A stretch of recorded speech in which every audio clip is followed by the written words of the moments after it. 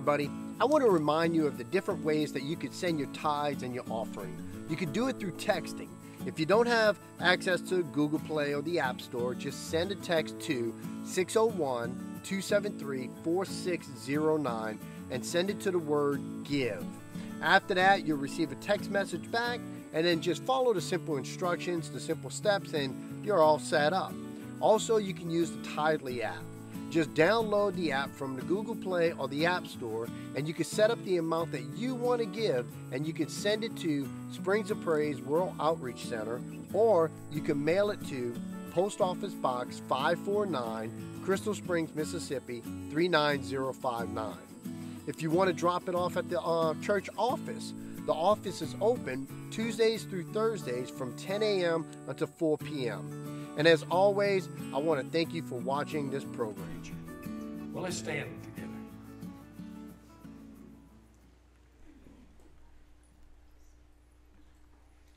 I want to read some scriptures to you uh, that I believe that the Lord has given me for this morning to finish up this year, my last message of the year. And it's Acts chapter 3, verses 20 and 21. Thank you, Chris, for helping me. And he shall send Jesus Christ, which is talking about our Father, God. He will send Jesus Christ, which before was preached unto you, whom the heaven must receive until the times. Everyone say the times. That's a particular, we didn't highlight that word, the times, but I want you to hold on to that. It's the times of the restitution of all things. Let's read that yellow line. Restitution of all things, not some things, restitution of all things, which God hath spoken by the mouth of all his holy prophets since the world began. That's what we're preaching on the times of the restitution, okay? And the next verse is Romans 9 28. For he, God, will finish the work, and he will do what to it? Cut it short in righteousness because it's the right thing to do. That's what it's saying. The right thing is he's going to have to cut it short because a short work, he repeats that word short twice, will the Lord make upon the earth. I want to speak for a few minutes on the question Do you know what time it is? Father, help us to be a better discerning group than the Pharisees when Jesus, you said, you know how to discern the sky. You know how to tell when a storm's coming, but you don't know how to discern the times. Help us to realize that we are in a time as, as Americans we've never been in before.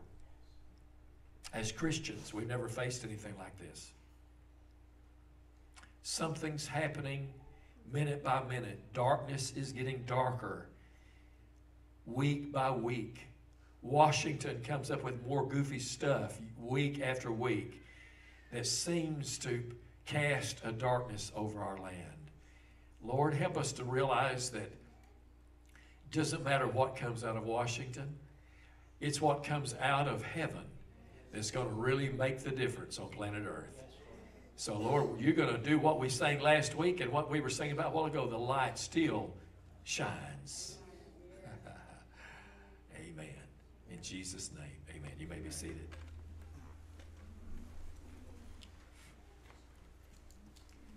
I really believe with all my heart that we, right now, which is being, I pinch myself to say I'm a part of this we are in a time of acceleration. Like the pedal has been put to the metal and this thing, things are moving quicker and faster. Almost daily hearing things coming out of the news that we see is changing the America that we grew up with. Things are changing. So the restitution of all things is going to happen at a certain time. December 14th, 2012, nine years ago, this week, this past week, seven year old Daniel Barden from his Newtown, Connecticut house opens the window and looks out. The little seven year old boy is looking at the sun beginning to peak over that area. He looks out and sees the orangish, reddish sky beautiful, silhouetted by homes that have Christmas lights all down through the neighborhood. And it was so pretty, he turned to his dad as they're both looking at it. And Daniel says to dad, Dad, isn't that beautiful? Well, dad thought it was beautiful. He got the camera and took a picture of it. And there were special moments that morning with little Daniel, just like that. At one point, he ran out in his PJs and his flip flops and grabbed a hold of his sister's neck, Natalie, and hugged her and wished her a good day at the school. He's just so joyous. Went back inside and asked Dad, and they sat at the piano and played jingle bells together. And he was upstairs brushing his teeth when he heard Mom getting ready to go to work, and he runs downstairs with the toothbrush in his mouth and hugs Mama goodbye. And it's a Merry Christmas. The whole atmosphere is a fun-filled, carefree Christmas season morning for seven-year-old Daniel. Of course, the family did not know that that's the last time they would see Daniel alive again. Because Daniel was a part of 20 kids that were murdered in the Sandy Hook Elementary Massacre. And we've had massacres before, but we didn't have anything like this. These were not adults, not even teenagers. These were little bitty kids, elementary kids. Uh, they weren't a gang of people. They were backpacking, Christmas loving kiddos, and for heaven's sake, it was the Christmas season. And when we watched this, I watched it on TV, and many of you did. Uh, I thought to myself, this is a quiet neighborhood. This is just kids. I thought, my goodness, life sometimes sure isn't fair. That's right. Nothing good about that seemed to be at all. And I wondered in my mind when I saw the pictures and the, the grieving. These kids did not deserve to die. The parents did not deserve to go through that Christmas with the loss of their child. They didn't deserve that. But I wondered, in that imbalance, there was an imbalance there. It's like there was a shift in, in, in the very atmosphere around that town, that something went completely haywire and wrong, and you wonder, is it ever going to get straightened out? Now, I don't know about you, but if I'm watching a movie and the bad guys are getting in a lot of extra licks and they're shooting all the good guys and it look I mean injustices are taking place where people are getting beat up and all kinds of uh, uh, know, attitudes and things are wrong and I'm sitting there saying when is John Wayne going to get here? When, when does the, the, the Lone Ranger arrive? Uh, When's this going to get straightened out? Because I don't, don't want to watch a movie that it keeps staying bad. I want something to change for justice. That person gets it. Uh, we watched something last night. Uh, uh it's FBI. It's a, a, true stories about the woman that could read lips, and it's a Christian program, uh, very clean. But uh, there was a guy out there that had a horrible attitude and really uh, his actions helped cost a life. And, and the whole time I'm waiting till the end of the show, when's he going to get it? And he never gets it. Am I telling you right? He never gets it. And I'm thinking, how disappointing. I want him to get it. I want the guy that did our graffiti done. I wanted him to get caught. Are, are y'all with me? Injustices bother me. Don't don't let me stand in line at Walmart for 30 minutes and you stick your nose in between us. Because the spirit of anointing comes on preachers. Yeah. Is there a time when this all is going to get straightened out, where things, where you've had injustices, finally the person that's been doing it or the things that have been happening to you gets rectified and changed? It is. We read it just a moment ago. It says there's going to come a time in the times, there's going to be, in God's timing, a restoring, a restitution of how many things? Don't that make you want to shout? The Lone Ranger's coming. It's, it, it, it, he's, this one's riding on a white horse. He's the good guy. And we remedy this thing one day. Amen. I like that. Now, Abram has been given a vision by God. Your family is going to spend a lot of years in captivity, but I'm going to pull them out. But it's going to be when the cup of the Amorites is full, when their iniquity is full. Then, I, in other words, there's a timing to this.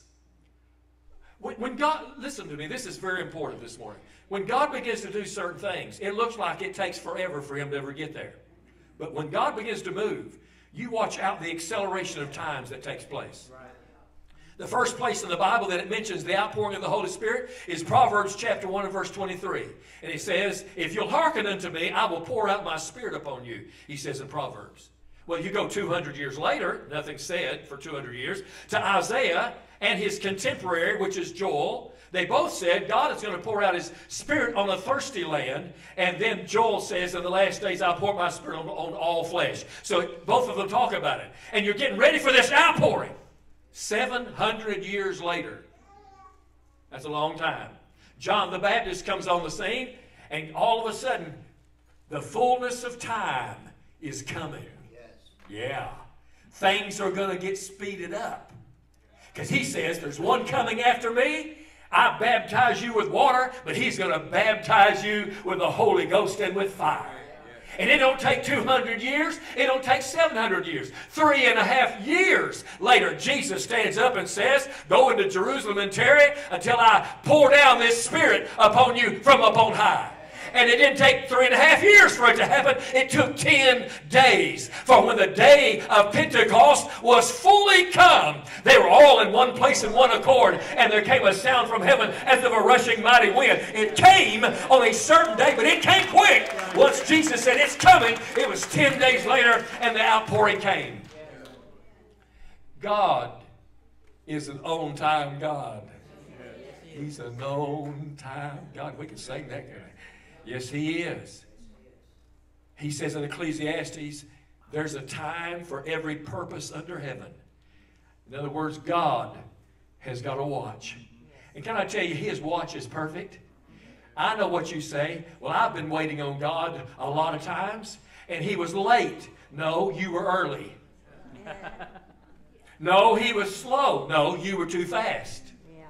The first words out of Jesus' mouth in Mark's gospel is this The time is fulfilled, the kingdom of heaven is at hand.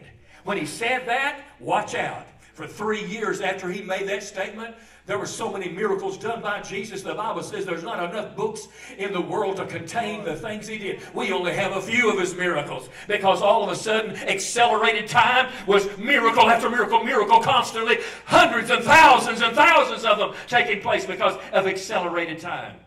I want to ask you a question. Have you ever questioned God's timing? Have you ever questioned God's timing? Come on, be honest. I have. Lazarus, Mary, and Martha did. You remember in Mark, John 11, they sent a message to Jesus saying, The man that you love is sick. Lazarus, whom you love, is sick. And Jesus makes a statement. Now, please get this. Stay with me a few minutes and I'll let you go home. No amens. We're staying two hours. And they lock the doors. No, the messenger came and said to Jesus, The one you love, Lazarus, is sick. And Jesus makes a statement This sickness is not unto death. And the messenger hightails it back the 17 miles back to Bethany and tells the family, Don't have to worry about a thing. Jesus said, This sickness is not unto death. He misinterpreted it. The wording is simply this this sickness will not end in death. The end will not be a death. In other words, there was a resurrection in there, but that wasn't part of what he said, so therefore it got misinterpreted. And can you imagine? I believe this is what happened right here. No, I don't see him yet. No, I, am looking. Can you imagine Lazarus laying there, getting close to death? Is is he coming? You hear? Any little bump, knock, any little bit of hope? It's Jesus, and he'll save the day. Well, he didn't ride in on the white horse, and nobody gets saved. And that's why Mary wouldn't even go out and see him. The one that loved him and was set at his feet didn't even go out to see him. Martha went out to see him. Lord, if you'd have been here, those were words that had a lot of hurt in it. Our brother would not have died. In other words, you did not show up on time. Have you ever asked, why didn't you show up when I wanted you to show up? Come on. Why didn't, why didn't the Lord send his son when Adam and Eve sinned? That's when the problem began. Why not? Instead of letting all of us be a part of the problem, just nip it, that's Barney Fife, you know, nip it in the bud. I mean, get this thing handled right off the bat. And then another question is, why didn't God wait until now to send Jesus? I mean, seven billion people, satellites everywhere, the birth of Jesus, the resurrection, the death, all that on satellite. How many millions of people could be saved through that? Why didn't God wait till now? And then I have a, another question. Why did God wait for certain things to happen in my life? Why didn't He save me earlier? Why did I have to go through the mistakes and the problems and the, the things that I wished I hadn't have done? Uh, why, did, why did I have to go through that? I don't have any answers, but I'll tell you this. Whatever the reason that God saved me when He did or saved you, it was in God's perfect timing. He doesn't make any mistakes. And he knew when this world would be right for Jesus to come in the fullness of time. God made of a woman Jesus in Mary's body. God had the perfect timing. He knew what he was doing. And sometimes it looks like he doesn't know what he's doing. You women know this. When you have a baby inside of you, nine months is a long time. Amen. I mean, by the ninth month, my daughter-in-law just had our grandson this past week, and I tell you what, she was miserable.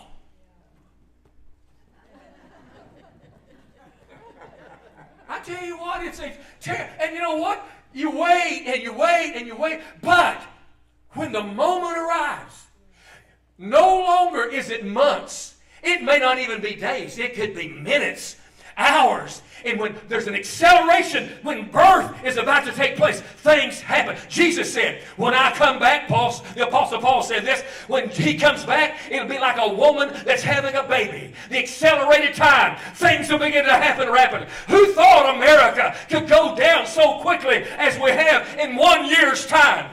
I tell you what, the, the, the, Soviet Union had no idea in 1989 that that vast empire, at one time bigger than us and greater in their military might than us, in one day's time became no more. God can accelerate where He conquers the enemy of your life quickly, fast.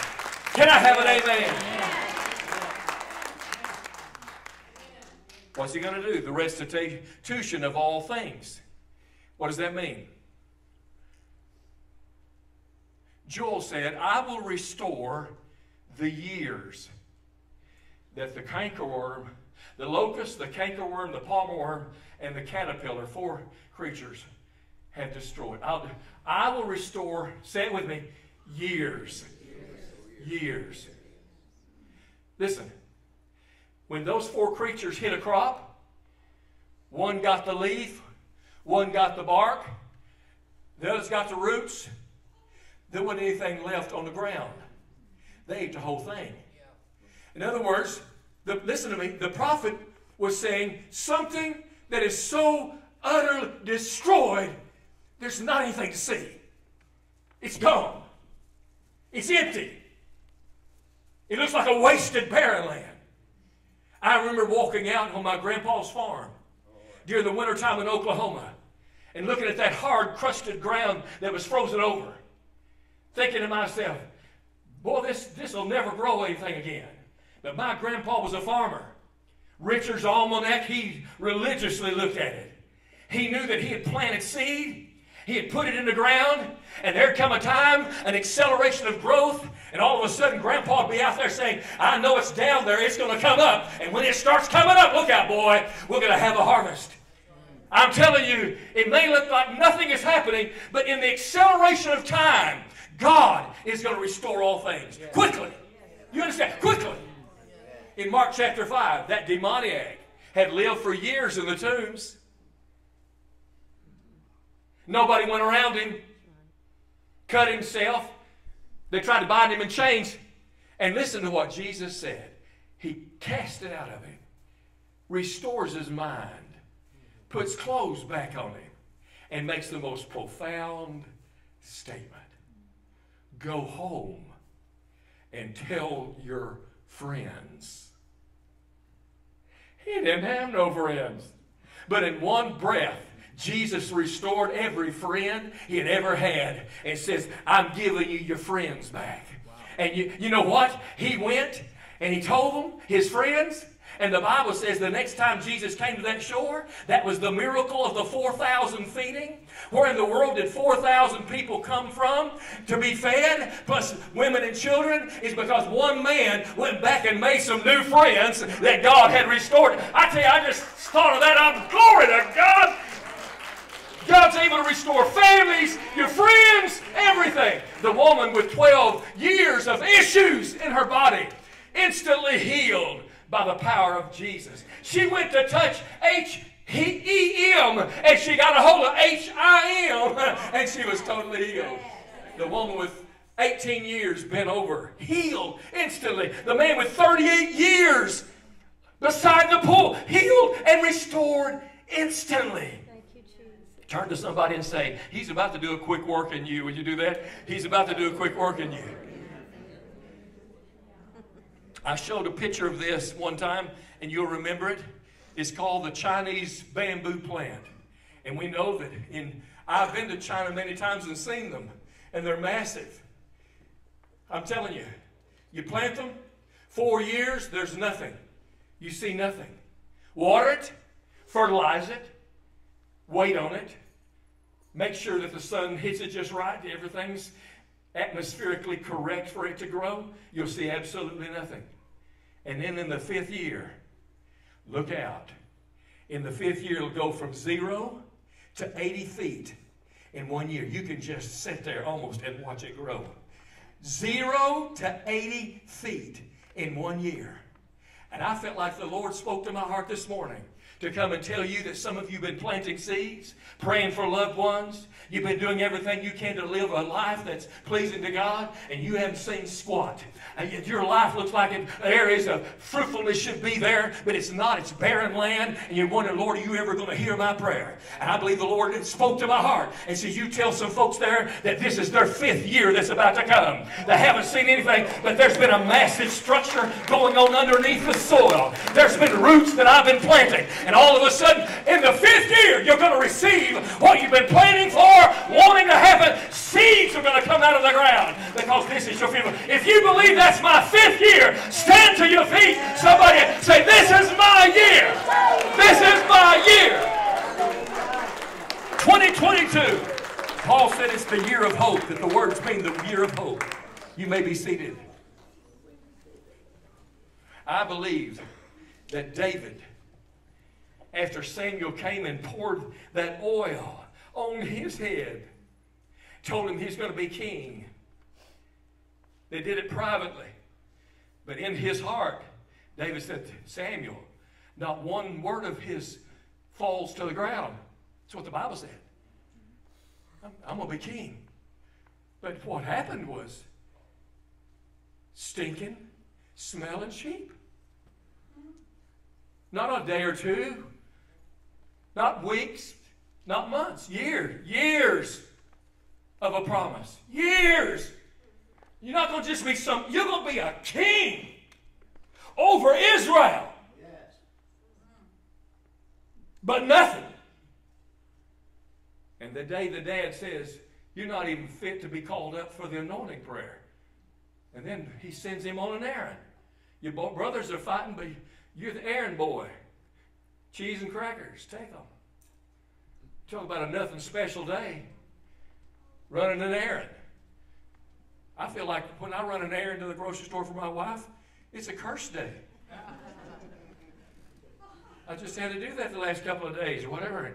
I, I went up and down every aisle. I didn't have to walk my two miles that morning. I got them in the grocery store.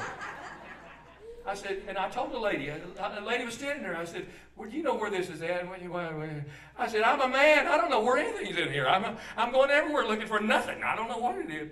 You know, and, and that's a nothing day. You know, that was a nothing day for David. Crackers and cheese to the brothers who were getting in the battle, wanting to fight. And before that day was out, David's name was known from Dan to Beersheba. One day.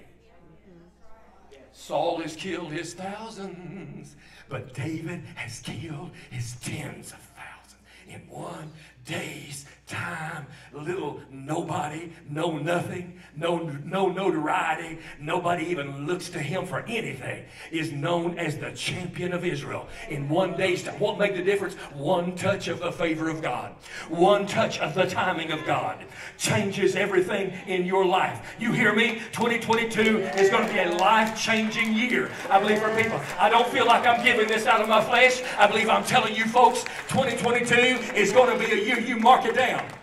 You mark it down. God is going to do accelerated time in your life. Billy Graham, 1949, preaching podunk collars, open doors, classrooms, wherever he could preach. But he preached a little tent meeting over in Los Angeles, and William Randolph Hearst, the newspaper tycoon, comes and God touches his heart. The next day, William Randolph Hearst contacts his, contacts his newspapers across America and says, I want you to run Billy Graham on every issue. I want you to tell what God is doing here in Los Angeles, and let's tell about Billy Graham. In one day's time, Billy Graham became a nationwide success. It'd take him all his life to have got to that realm, to that area of success. But one man, the right man, at the right time, changed everything in Billy Life. You say, well, preacher, I, you're telling us that there may be a right time, a right person, the right contact that changes my life. I can't believe for that. I, you don't get people's hope up, hopes up. Well, I'm going to tell you, listen, don't worry about it. It'll never happen to you. Because I'm trying to talk to believers. These signs shall follow them that believe. If I've got somebody here believing, you know what? I just feel something in my spirit that that's mine. Mine. Yes. That's mine. The night the boy preached on the Holy Ghost from Southwestern College, he said, you can, you can receive the baptism of the Holy Ghost. I was 15 years old, looked up at him, and I said, I just got saved, but I believe that's mine. I reached out and grabbed it in the air and stayed down at the front until I received the baptism of the Holy Ghost. Some of you need to reach out in the heavenlies and say, This is about my time to get some changes in my family, in my, in my body, in my finances. It's about my time. That gunman thought he won. You thought he won. You got your gun. You shooting innocent kids. You're winning. Yeah. That's what communism thought. For 40 something years, they thought we won. But in Prague, Czechoslovakia, where bells had not rung for 40 years, birds had made their nest. Bells began to ring in 1989. Birds filled the sky from bells that was ringing in their ears. And there was a sign out in front of a church that said this The Lamb wins. The Lamb wins. Communism, you beat people to death, starved them to death, you tried to try them, but you didn't win. And I'm reminded of the fact of what God can do through the little lady that I've told you many times about who was praying at her house about bread. Didn't have bread, but she went to the Father and said, Father, you promised me bread, and I'm claiming bread. While she was praying, two boys walked up on the porch and they heard her crying out inside the house. They got close to the door. They heard her saying, I want some bread. I need some bread. And they said, We'll pull a prank. They went down to the grocery store and bought a loaf of bread, climbed up on top of her roof and dropped it down through the chimney. She heard the thud, went over there and found the bread, dusted it off, went over and began eating her bread, was having, oh, a thank you Jesus party. When all of a sudden the knock came on the door and the little boys, she opened the door and they were there and they said, what you doing? She said, I'm eating some bread. Where'd you get it? I got it from God. Ha ha ha ha! Ah, and that's where you're wrong. We heard your prayer. We answered your prayer. We put it down the chimney. That was us. She said, ah, no, God still sent it. The devil may have delivered it, but God still sent it. If God has to make the devil your delivery boy, he's still Jehovah Jireh, the Lord my provider. Somebody needs to stand to your feet and say, Thank you, Jesus for restitution of all things.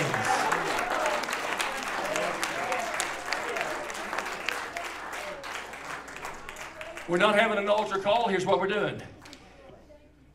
Because I think all of us can say there's areas in my life, Lord, I need restoration. So across this building, with every head bowed every eye closed, if you can think of an area that you desperately need restored.